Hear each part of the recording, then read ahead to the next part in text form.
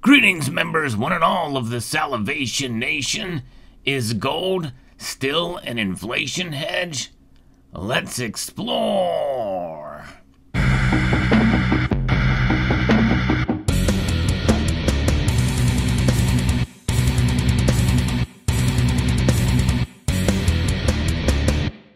That is a question that many of us would think quite perplexing.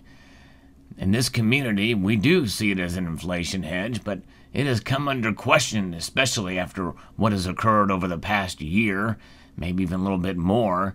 We're seeing inflation uh, running rampant, and it has become recognized by all assets of the economy and in fact recognized by analysts far and wide as not being transitory right now. Uh, and so it is a question that leads us to wonder what is going on with gold? Why is it not reacting uh, to this inflation? Um, and we're going to talk a little bit about that in this video as we reference an article here from CNBC. And of course, we know consider the source and consider the psychology of the markets. You know, as is the case, whenever we see the metals move one way or the other, or really any investment class or any um, commodity, or or in this case, what we're looking at here as a hedge, as a store of value, these things are tracked by the markets. Psychology rules the day in terms of how they're viewed. And so let's take a look at this and see if we can make sense of it.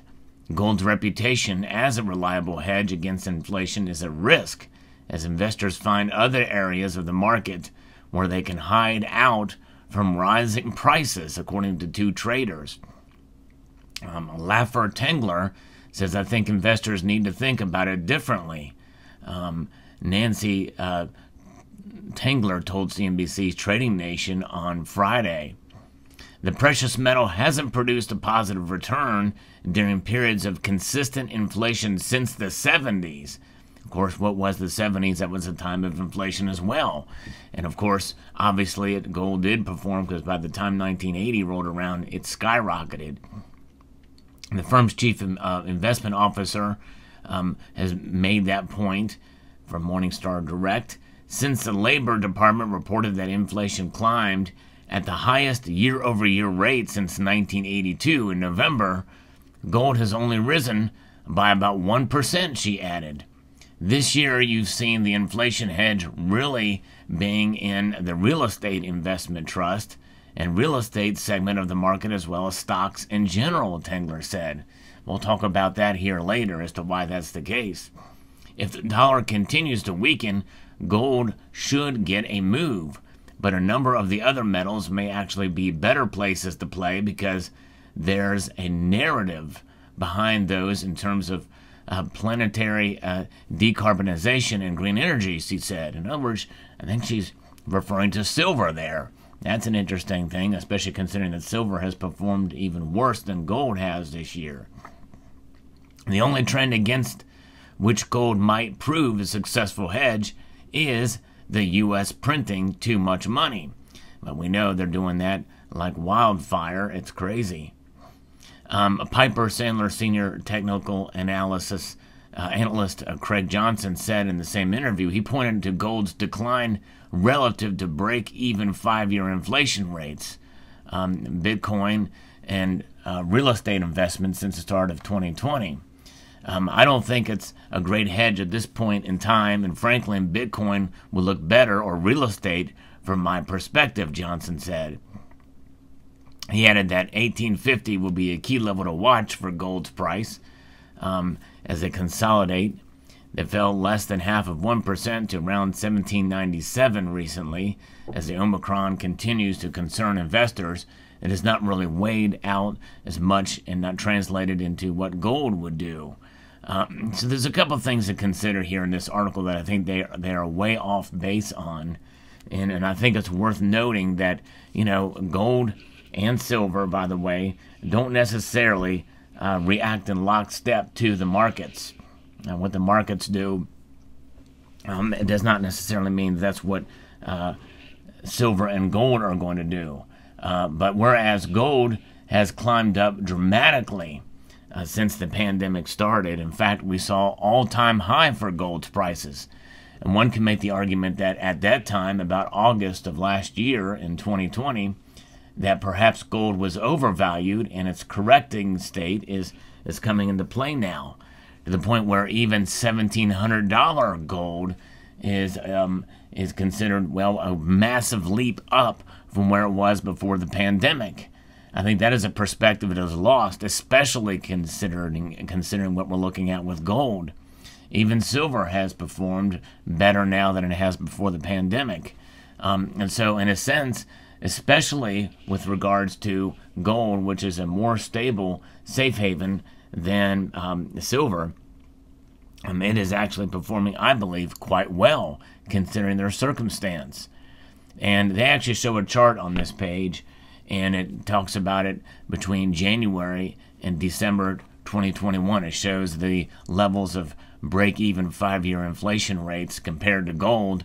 And yes, gold is, is down, but you look at it between the uh, between that period of time um, from from that it's a break broken even or what have you you can pick any two dates to make anything say what you want it to say any narrative that you want to use.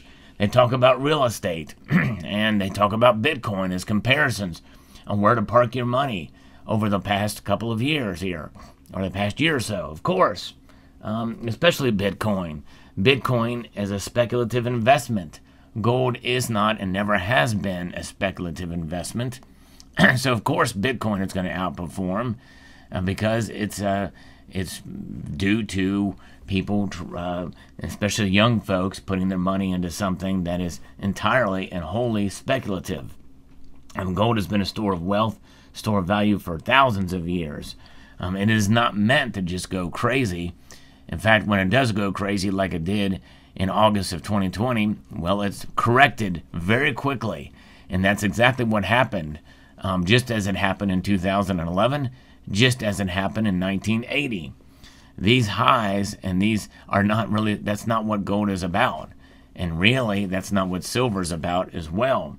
That's what that's something that I think most people need to come and understand the hard lesson about what gold and silver is about. I learned that lesson early on um, in this channel. The channel was started essentially out of the auspices that hey, we could see precious metals skyrocket and I want to be on board with that. It turns out I learned a very hard lesson that that's not the case. I've learned it through interacting with this community and seeing and talking with traders and the like in person. So gold and silver have different roles, especially gold as that safe haven asset, silver as a commodity. Gold is somewhat as seen as a commodity as well, as an industrial metal to some extent, but it is mostly treasured. And because it is treasured, it is valued for what it is as that ultimate hedge against economic instability. That's the key. It's not just against inflation, against it's against economic instability, which is something that is um, uh, to be of concern. We, in reality, what we're looking at right now uh, in the world today is uncertainty, but not instability. There's not economic instability uncertainty does play a role in the prices of gold, and I think that is what led to part of its uh, dramatic increase in um, uh, August of 2020. But gold is a metal that will continue to shine on no matter what. And we're going to see, I believe, in the coming year, uh, gold uh, uh, solidify itself in terms of its price um, um, in correlation with its value as it comes to, to absolve these markets and understand them and react to them. Where will inflation be six months from now? I don't know. But real estate is a market that is can be speculative as well, and many people feel that real estate market is hot, just like it was at the end of 2007 and 2008. Much of the same type of um, conditions are there in that market as they were then. Um, and we saw what happened with the housing bubble when it popped. Well, you know what? Gold is never in a bubble per se, um, even though one can make the argument that those big spikes that we saw in 1980, in 2011, and in 2020 could be perceived as that. But it's not necessarily that that bubble pops with gold.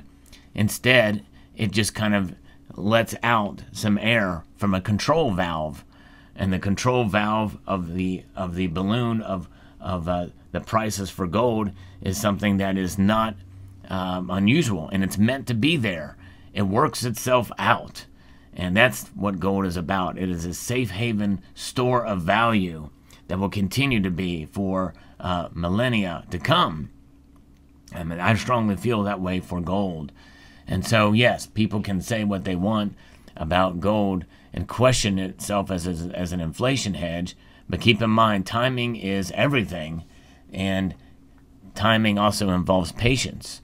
And right now, it may not appear that gold is acting as an inflation hedge over the course of the last year, but um, most certainly um, it will catch up to what the markets are and what's going on, and it will uh, absorb whatever comes its way. That's what gold is all about. The physical properties of gold are something that is second to none. It cannot be destroyed. It can be dissolved, but it can also be reconstituted. Same thing for its value. Its value can never be destroyed. It will always remain as a constant. And so if you are holding gold and feel discouraged, I hope this video will help encourage you to press on with gold because I believe it is still an inflation hedge and um, and it will hold on for quite some time. The timing of it against other um, activity in the marketplace uh, will not necessarily fall in line, but it will catch up. Uh, and it's all about sentiment, it's all about psychology, and we live in the information age where things can happen on a turn of a dime and markets can move one way or the other very, very quickly. And so we will continue to um, press on with the gold holdings that we have for those of you who do stack gold. Um, and I want to encourage you to continue to press on with it. So I'd like to extend a multitude of gratitude to you all for taking the time to watch this video. And if you made it this far to the video, put it in the comments section below, gold, yeah. That's it, there you go. A multitude of gratitude to you all for taking the time to watch this video, and I want to encourage you to please rate, share, comment, and subscribe.